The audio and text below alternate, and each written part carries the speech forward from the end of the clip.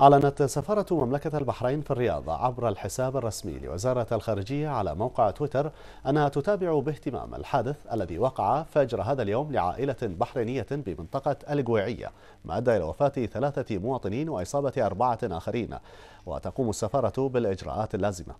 هذا وقد توفي ثلاثة حجاج بحرينيين وأصيب أربعة آخرون في حادث مروري بمحافظة القويعية بالمملكة العربية السعودية أثناء عودتهم إلى البحرين بعد أداء مناسك الحج في ساعة مبكرة من صباح اليوم.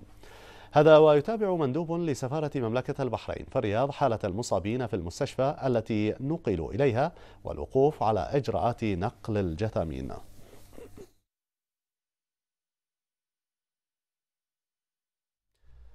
ولإلقاء المزيد من الأضواء حول هذا الحادث معنا عبر الهاتف على الهواء مباشرة السيد طارق النصف مستشار في سفارة مملكة البحرين لدى المملكة العربية السعودية. سيد النصف بداية تعازينا لأهالي الضحايا وأمنياتنا للمصابين بالشفاء العاجل.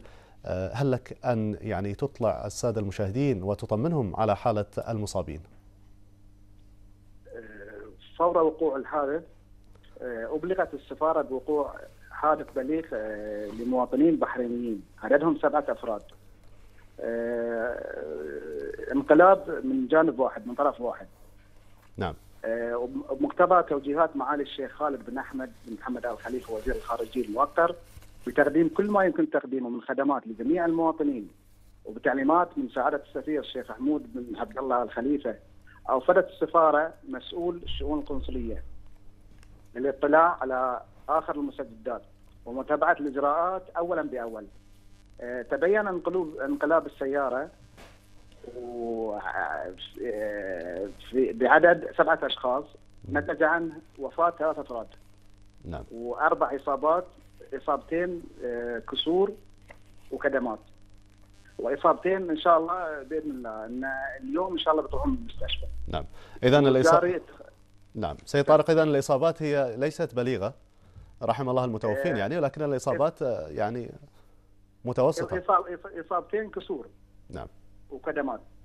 طيب سعادة سيد طارق يعني هل من نصائح من الممكن أن تقدموها خصوصا للحجاج العائدين من من مكة المكرمة أو المدينة المنورة إلى إلى أرض المملكة مملكة البحرين؟ النصائح إذا كان عن طريق البر بالسيارة فبموجب ما السائق يشعر بأي تعب عليه إنه يتوقف في منطقة آمنة وياخذ راحة. لا, لا يواصل يقول لا أنا قريب من البحرين وكذا وكذا خليني اكسب الوقت لا. نعم. المهم الراحة. نعم. اذا أهم شيء. السيد طارق النصف المستشار في سفارة البحرين لدى المملكة العربية السعودية شكرا جزيلا لك.